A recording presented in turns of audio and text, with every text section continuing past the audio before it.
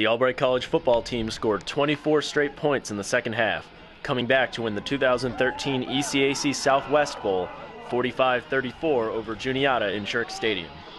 It was the second consecutive year that the Lions came from behind in the fourth quarter to beat a Centennial Conference team for the ECAC title. Albright had won at Franklin and Marshall 38 34 last year after trailing by 14 in the fourth quarter. Senior quarterback TJ Luddy was named the game's most outstanding player after totaling four touchdowns. He threw for 201 yards and two scores, while rushing for 71 yards and another pair of TDs. Senior Ty Hughes had 70 yards rushing on the day to eclipse 1,000 for the season. Devron Clark caught six balls for 76 yards and a touchdown. Senior Paul Hobbs led the defense with eight tackles on the day.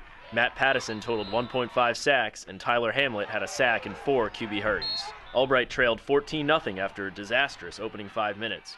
Juniata returned the opening kickoff to midfield and took the lead on a Ward Udinsky nine yard run.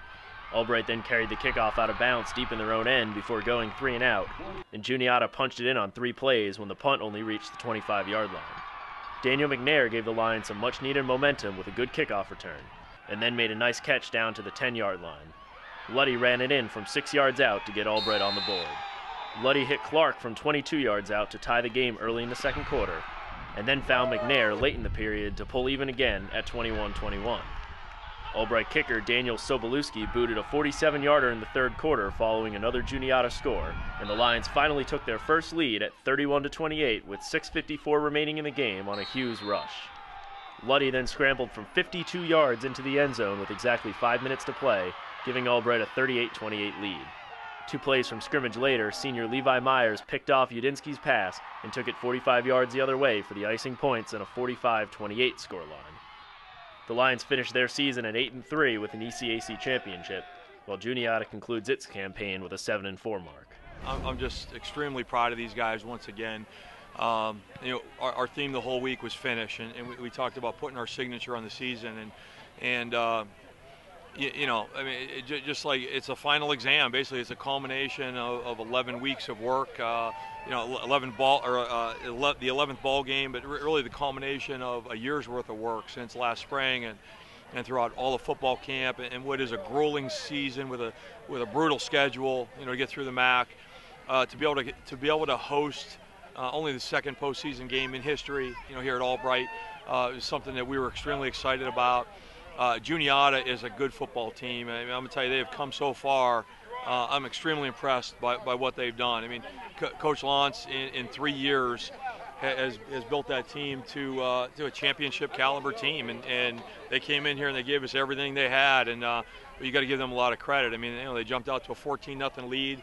Um, we closed the gap 14-7, then we tied it 14 all. Then they took the lead at 21-14. We, we, we tied it you know, going into the half, 21-21. Uh, we think we had some momentum there. Then they scored in the third quarter to make it, you know, 28. We were able to get a field goal to make it 20, 28-24, where it stood felt like a long time. And then in the fourth quarter, we just exploded with a really an avalanche of momentum. You know, it, it started offensively uh, on the on that drive when we. Uh, you know, we, we drove down the field, converted. I don't know how many third downs, converted a fourth down. Uh, you know, Ty Hughes punched it in the end zone, and um, you know, and, and then uh, you know we, we had a uh, uh, on our next drive, you know, TJ, you know, uh, just you know being a senior quarterback, really a three-year starter. Uh, what a great decision he made to, to scramble and, and, run and really finish the I don't know what 60-yard touchdown run or whatever it was, you know, and, and, and that really is what put the game away. And then and then uh, you know Levi Myers again, another senior who had a great career. You know, he gets a pick six. You know, really to kind of put the icing on the cake and you know, uh, once again, I'm just so proud of these guys. I mean, our, our, our, you know, our defense stepped up, especially in the second half when we needed it. Um, you know, really allowed one score where it mattered.